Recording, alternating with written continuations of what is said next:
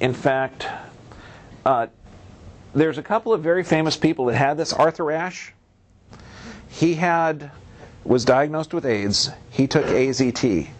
He is no longer with us.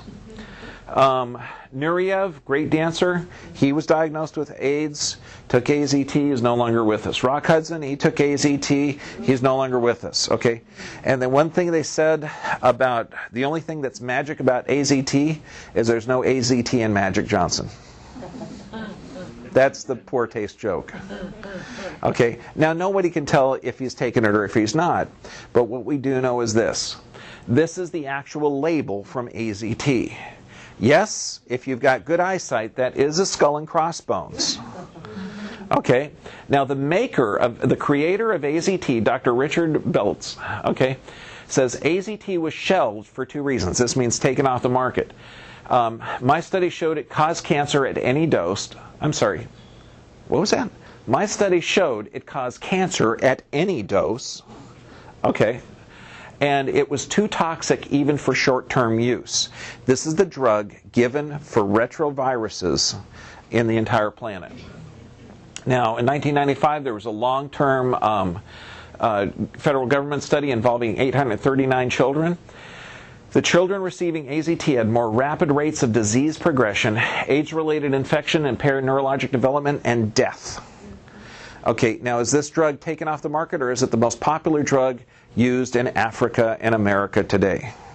Yeah. Survey says, yeah, it's the most popular drug used.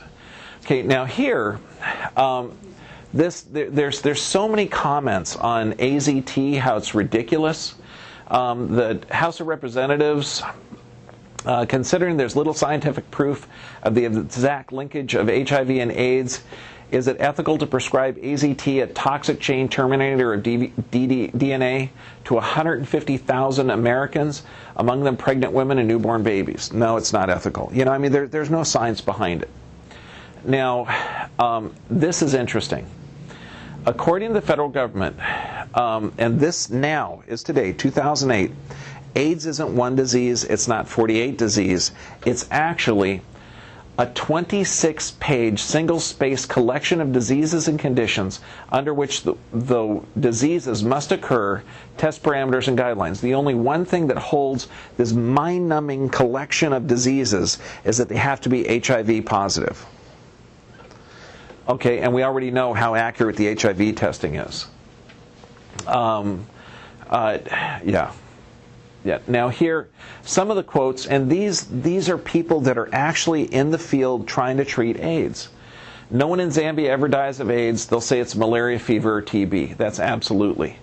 Um, from the University of Chico, a 1994 report in the Journal of Infectious Disease concluded that HIV tests were useless in Africa where microbes responsible for TB, malaria, leprosy are so pre- prevalent that 70% resulted in false positive results in people whose immune systems are compromised by a wide variety of reasons other than HIV. So they're always going to test positive. Now, this thing, this is the solution. When I tell you that I saw the results of a person carried in at death's door, within a month he was on his feet and helping at the clinic, and this is him 10 years afterwards, healthy and symptom free. Is one of the doctors working down there, Christian Fiala. Um, what would actually help Africans is infrastructure development, proper sanitation, safe water, basic medical care, plenty nutritious food. The simple it, this is simple, clear, logical. What's astounding is the UN's recommending just the opposite.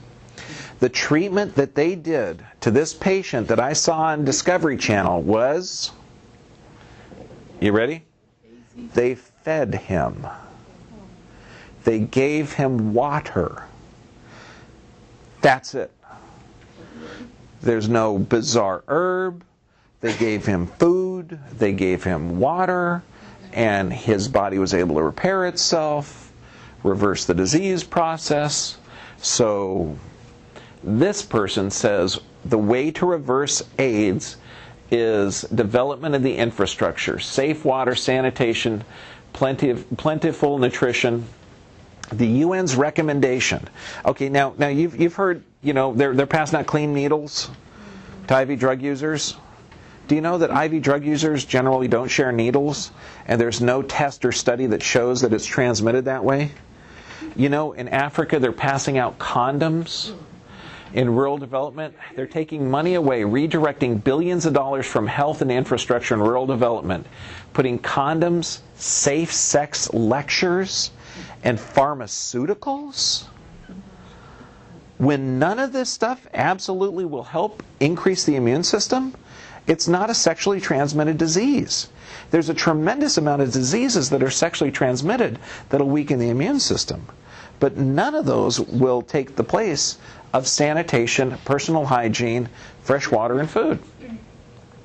This is not what already suffering poor people need to be healthy and successful. This is exactly how to propagate death, disease, and poverty. You got sub Saharan Africa, which most everybody is ill. 60% of the people are living with dirt floors and cow dung on there, and we're giving them safe sex lectures, condom, and pharmaceutical products? Hi, use these condoms. Please give us a glass of water. Okay, now, I mean, it's the, the solution is obvious. Now, this patient here, I used her a couple of times before, but she had multiple bouts of pneumonia, multiple bouts of bacterial infections. Knowing what you know now, now she's a young, you know, young, cute little girl. Okay, if she was in Africa, she would already be diagnosed with AIDS. Okay, and she would be given AZT if she was the, the, the child in the inner city of drug addict parents, she's not, thank God, her mom, dad, family, they're freaking gold, okay? But if she was, would she be treated radically different? Radically different, yeah. Now she's I mean, she's really cute. Okay, just a doll little angel. But this is what normal, that's her neck. And she's recovered from, I think, a cough now without drugs. She's recovered from ear infections without drugs. Her immune system's getting stronger. Within a couple of years, she'll be playing soccer, normal and healthy. this, according to the absolute best experts in the world, to strengthen immune system and reverse AIDS. This is exactly what they did. Exercise, appropriate diet, fresh water. This is exactly what you require. You need proper nerve supply because this controls everything. You need regular exercise to detox your system. You need proper nutrition. This means if man makes it, don't eat it. This is fresh, free, organic. This is everything essential. Sufficient rest and prayer and meditation. It sounds too simple, doesn't it? But when we see when when you see that